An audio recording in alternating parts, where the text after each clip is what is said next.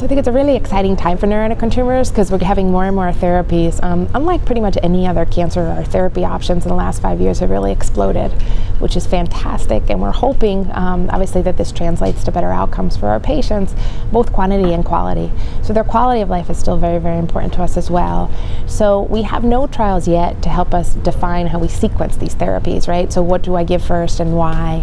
Um, so in the absence of clinical trial data to show me that this is what I should definitely do, we have to use that art of medicine more, I think, than any other cancer. So um, my personal preference in terms of that clinical practice, and I think what sort of parallels the NCCN guidelines is that, um, again, it's about quality and quantity. So very often our first line therapies, if you will, what I call our first string players, uh, would be somatostatin analogs. And that's because it really does do a wonderful job at controlling the cancer um, with pretty minimal side effects. I mean, every therapy has some potential side effects, but um, you know, it, it, probably is the best tolerated a, when you look at trials um, as compared to some of the other therapies that we have to offer. Now, having said that, again, the, the so-called targeted therapies that are now approved are also very exciting.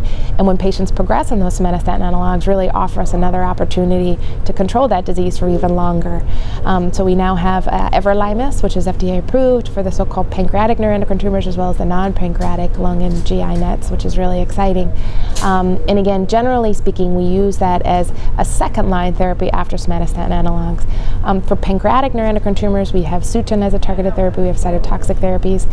And then across the board, we now have PRRT as a potential option, at least I should say, for the mid-gut carcinoids based on the NETTER1. So it's not yet FDA approved, but that's also another exciting therapy we could use where that comes into play in terms of sequencing of therapy remains unknown. I think most of us worry a little bit about the potential longer term toxicities of lowering the blood counts, and we wouldn't want to sort of prevent us from using a therapy um, if the counts are too low. So I think many of us will probably wait a little bit to not use that up front.